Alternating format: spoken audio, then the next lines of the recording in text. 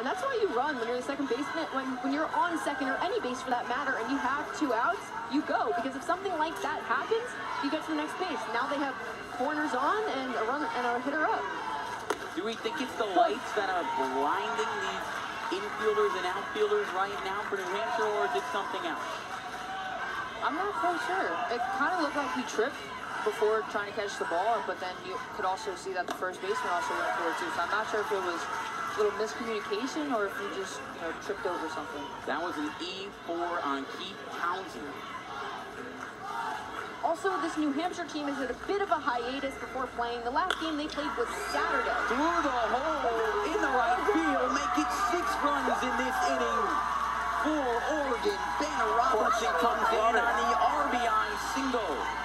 And because of that hiatus, they might not be used to the lights, obviously practicing, but not practicing at 8, 9 o'clock at night. So those lights getting in the eyes just a little bit.